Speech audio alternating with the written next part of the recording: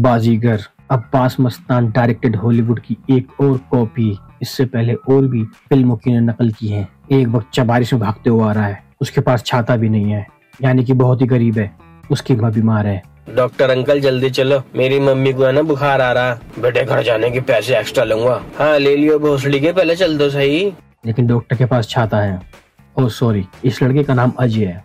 Doctor साहब क्या हुआ मेरी माँ को? डॉक्टर बच्चे को कुछ नहीं बताता लेकिन पड़ोसी को बताता है।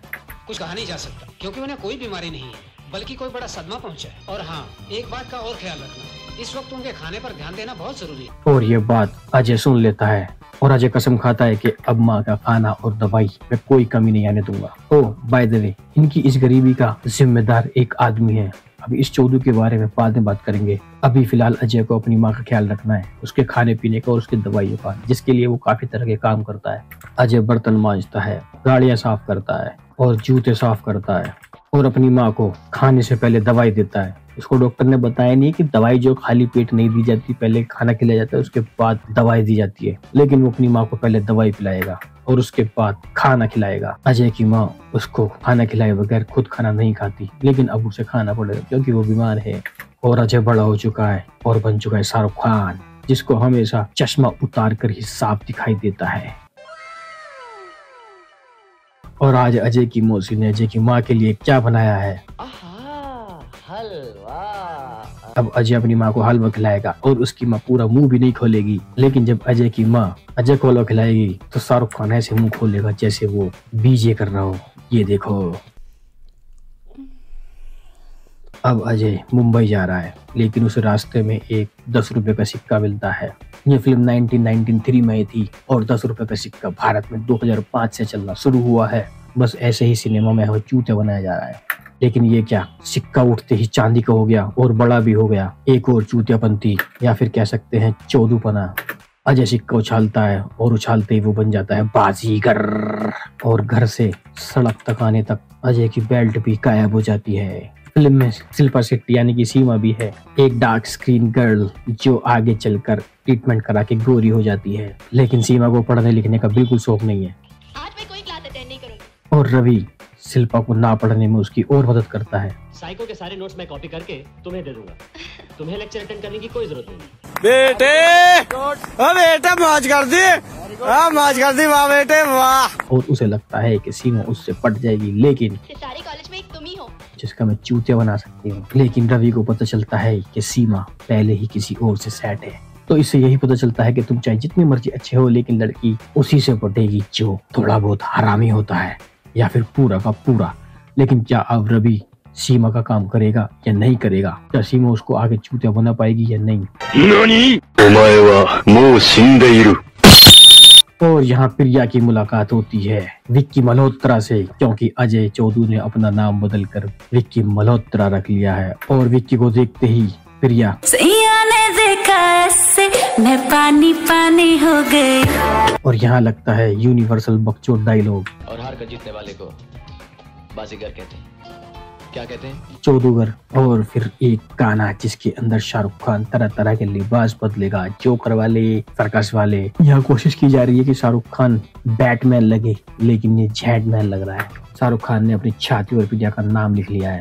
वैसे इस फ़िल्म में प्रिया का एक और आशिक है वो अपने हाथ पर उसका नाम लिखता है और कहता है हथेली पर तुम्हारा नाम मतलब नाम लिखता है और बाथरूम में जाकर उसको मिटा देता है। प्रिया को याद करके नहीं जैसे तुम सोच रहे हो वैसे नहीं। वो हाथ धोकर प्रिया का नाम मिटाता है ताकि दोबारा लिख सके। लेकिन तुम्हारी गंदी सोच पर एक दिन अचानक सीमा को पता लगता है उसकी शादी किसी और लड़के से होने वाली है। राम और सीता की जोड़ी है। और अजय और सीमा अब चुपके से शादी करने आए हैं। और सीमा एक मेले से खरीद कर लॉकेट लाई है। लेकिन अजय का प्लान कुछ और है। मुझे माफ़ कर देना।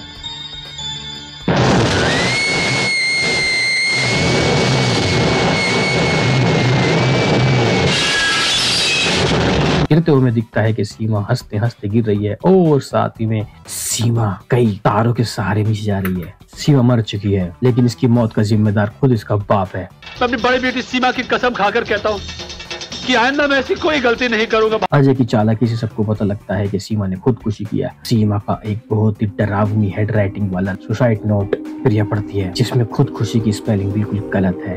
क्यों? आज मैं कोई क्लास अटेंड नहीं करूँगी। लेकिन एक दिन पता चलता है कि सीमा ने उस लॉकेट के पैसे ही नहीं दिए थे जहाँ से वो लाई थी। बड़ी चूत थी सीमा भाग कर शादी भी करने जा रही है और घर का एड्रेस भी दे दिया कि वहाँ से पैसे ले लेना पता लिखवाया था। को पता तो नहीं था कि वो मरने वाली है। लेकिन फिर ये सीमा के सहेली से मिलती है और उसको पता लगता है कि उसके साथ एक लड़का था रवि, जो उसको बहुत बिगाड़ रहा था। उसको क्लास अटेंड नहीं करने देता था और सारा काम किए जा रहा था। हो सकता है वही उसका खून खूनी हो। और इन दोनों की ये बात, ये चौधू बिल्कुल बंद खिड़की से सुन लेता है, जिसका आर पार कोई आवाज़ नहीं आ रही है।